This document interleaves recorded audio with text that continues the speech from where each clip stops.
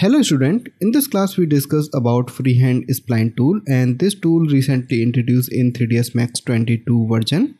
By using this tool you can create hand drawing spline directly on the viewport and this tool available in the shape section. By clicking on this you can access this tool. In the last class we discussed about extrude tool update. If you want to see that video link available in the i button now I click on this tool to activate and these are freehand spline parameter. First I create a spline on the viewport by click and drag method.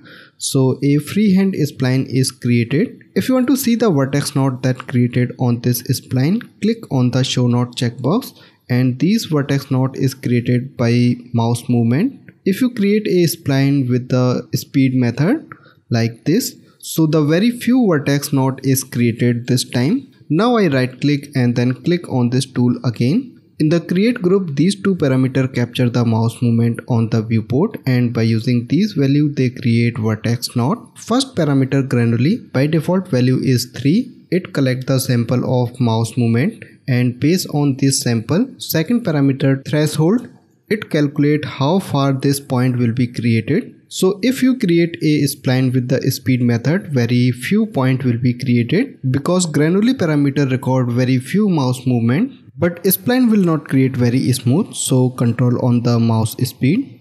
Now I explain this tool with a example so you can better understand. First I unhide my 3D model so I right click and unhide all.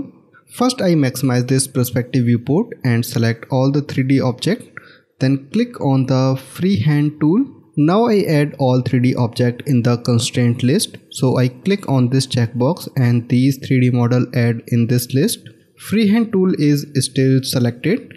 In case freehand tool deselect, click on this button. So this will activate again. Now I create a freehand spline on this burger.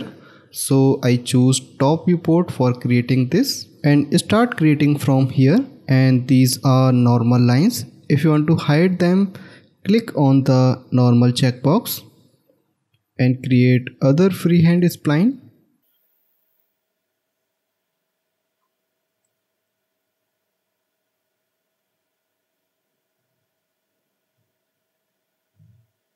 Okay, so freehand spline creation is complete. Now I switch to perspective viewport.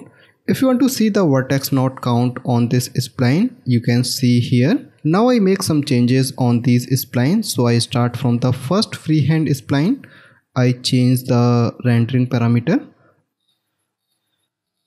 I think first I have to convert this as a editable spline.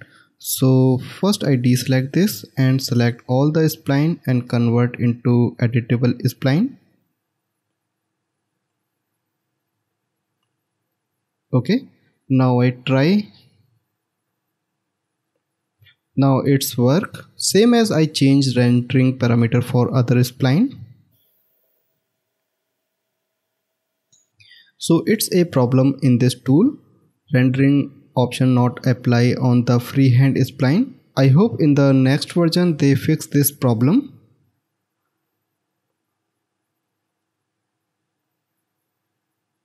Okay, now I select all the spline and change color. I choose light yellow color so it will look like a noodle. If you have any other idea how you can use this tool, you can share with me.